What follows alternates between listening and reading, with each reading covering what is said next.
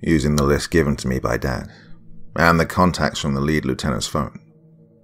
We've moved down the names, finding another top guy. We learn him and many others have this poker game every Saturday with a bunch of wise guys.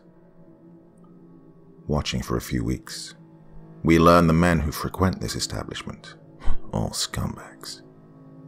There's also a woman who occasionally goes outside the building, taking out the trash, who also serves them drinks. And so, we wait. In a parked car down the street, we sit and watch until we see this tall brunette exit the building out the back door. Both of us wearing gloves and armed to the teeth. Lower our black ski masks over our face, and quickly we reach her, Jordan using a stun gun on her back. She falls to the ground. He binds her mouth and hands with duct tape. Minutes later, she slowly awakens in a daze. She knows the code to get in. Jordan, forcibly pushing the woman, saying, Give me the numbers, lady, or I'll kill you. Using a knife and cutting the duct tape with her hands now free, she hits the numbers on the pad, unlocking the back door. Jordan stuns her once more, her limp body rapidly falling to the ground. Crashing through the door, our guns raised and drawn. I look over at Jordan. Kill 'em all, he says. Men are everywhere throughout this room. Some playing cards and eight ball at the pool table.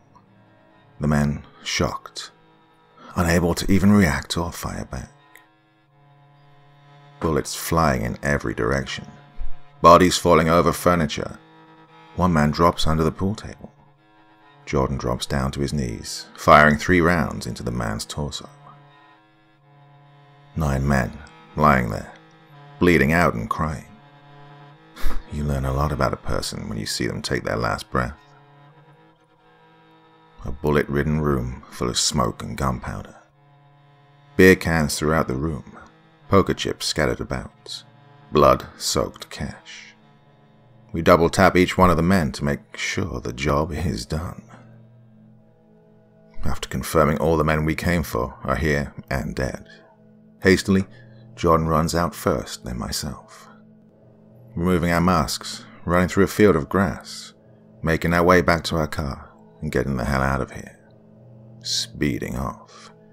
Spinning tires and smoke billowing from the ground. Jordan sticks his middle finger out the window, screaming, Rot in hell, you sick bastards. I look at him, horrified. Jordan is now laughing and cheering maniacally. You crazy son of a bitch. Get us out of here, I yell. Quite satisfied with our kills, we make a quick trip to the store, stocking up on beer and frozen pizza. Screw it, don't judge us.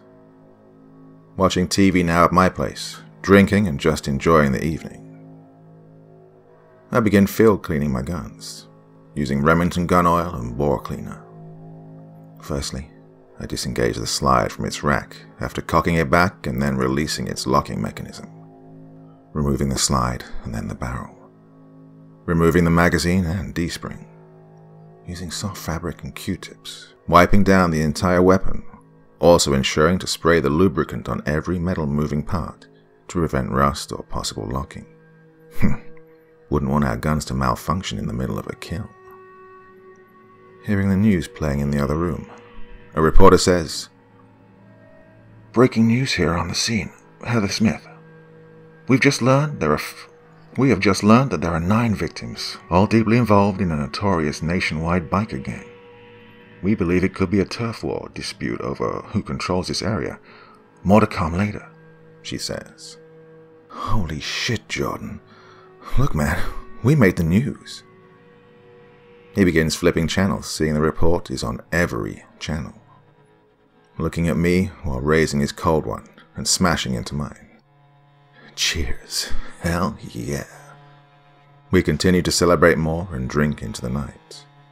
Music playing loud, and headbanging, listening to Slayer, enjoying ourselves and eventually passing out. It's morning now, and we need to figure out our next move. I'm hit with this roller coaster of a headache. God, damn hangovers are a bitch. Then, Suddenly, a thought comes over me.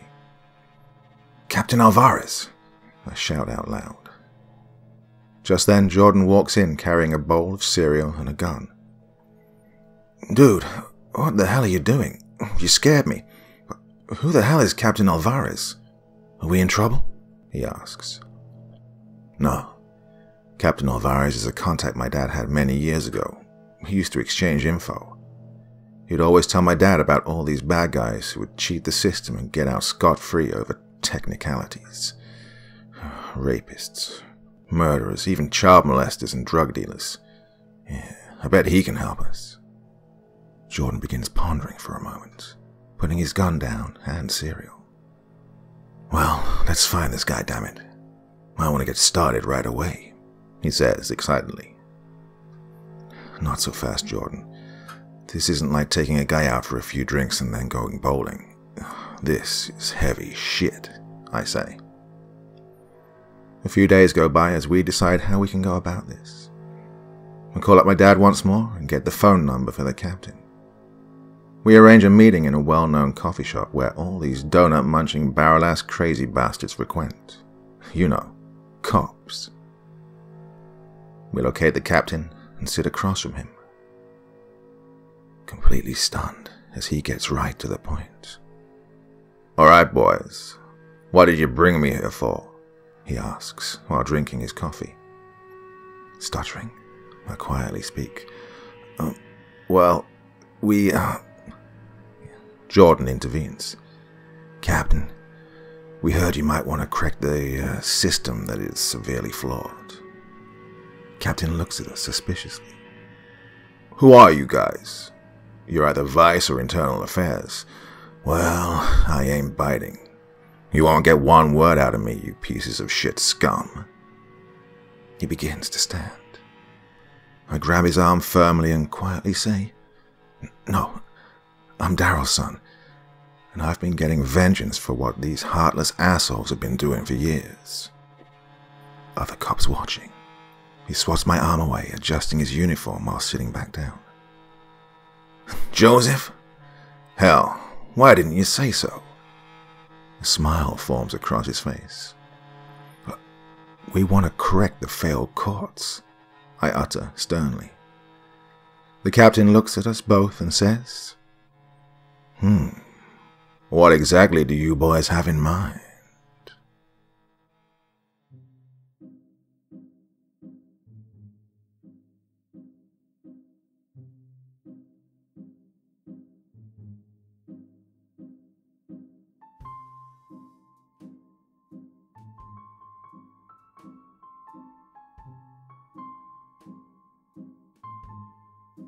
Thank you so much for choosing to spend your time listening to me.